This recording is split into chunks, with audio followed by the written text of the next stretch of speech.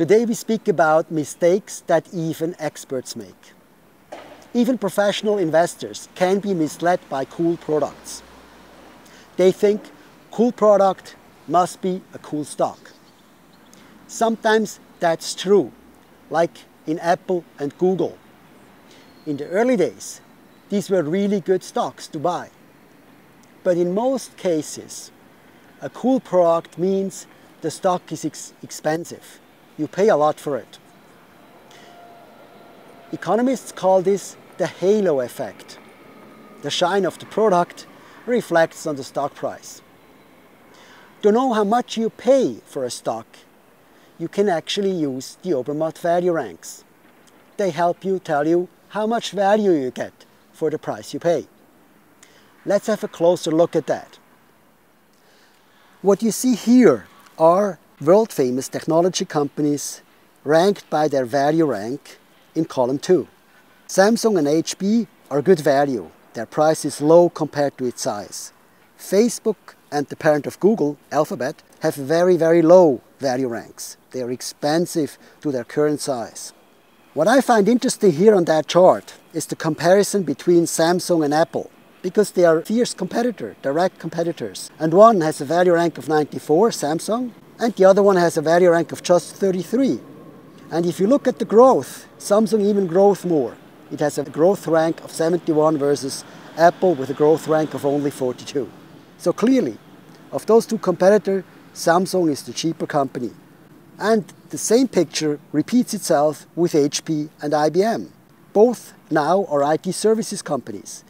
But the value rank of HP is almost double the value rank of IBM and HP also grows more at a value rank of 57.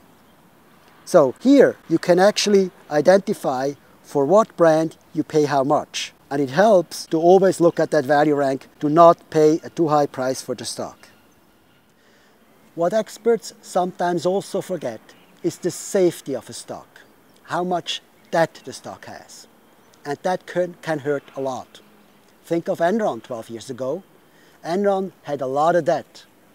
And people could actually see from the balance sheet that they run a really risky business. Enron later went bankrupt. How can you assess the safety of a stock? Well, the Obermatt Safety Ranks does this for you. Let's have a look at the Obermatt Safety Rank together to assess the technology stocks of before. Now we have sorted the table by the last column, the safety column. Microsoft and Samsung are the safest companies in terms of their balance sheet, and Apple and IBM are those companies with the highest risk. Now with IBM I'm less worried because they are a service company. This is a more steady business. But Apple is quite surprising. You may have heard that Apple has a lot of cash on their balance sheet. Why is it possible? How is it possible that they have a safety rank of only 21. Apple doesn't only have a lot of cash, it also has a lot of debt.